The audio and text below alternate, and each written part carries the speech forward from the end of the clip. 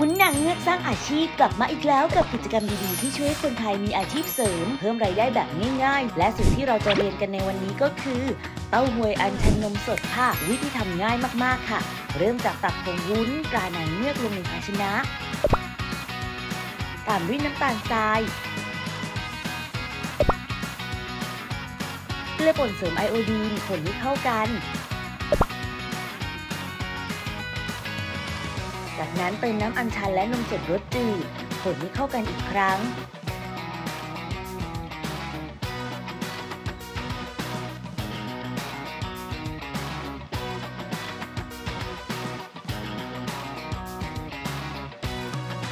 นำขึ้นตั้งไฟปานกลาง ซึ่งเคล็ดลับของขั้นตอนการต้มวุ้นคือ จะต้องคนตลอดเวลาเพื่อไม่ให้ส่วนผสมไม่ไหม้และไม่นอนก้นค่ะ และเมื่อส่วนผสมเดือดทั่วและละลายดีแล้ว ปิดไฟค่ะ จากนั้นตักเต้าหวยอัญชันใส่ถ้วย ใส่ถ้วยประมาณ 110 กรัม พักไว้ให้เย็นสนิทใส่มะพร้าวหั่นเส้น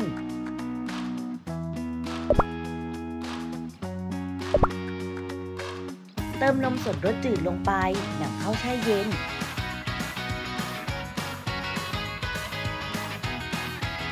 ค่นี้ก็เสร็จเรียบร้อยพร้อมขายแล้วค่ะกับเมนูเต้าหวยอัญชันนมสดสีฟ้าสดใสรับประทานคู่กับเนื้อมะพร้าว เข้ากันดีแบบสุดๆเลยเลยค่ะ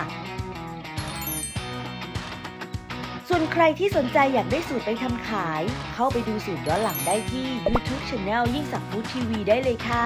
และอย่าลืมกดติดตามทุกช่องทางเพื่อไม่ให้พลาดการแจ้งเตือนข่าวสาร เพราะผงมุ้นตราหนังเงือกสนับสนุนคนไทยเรียนจริง รู้จริงมีอาชีพที่มั่นคงค่ะ Una, dos,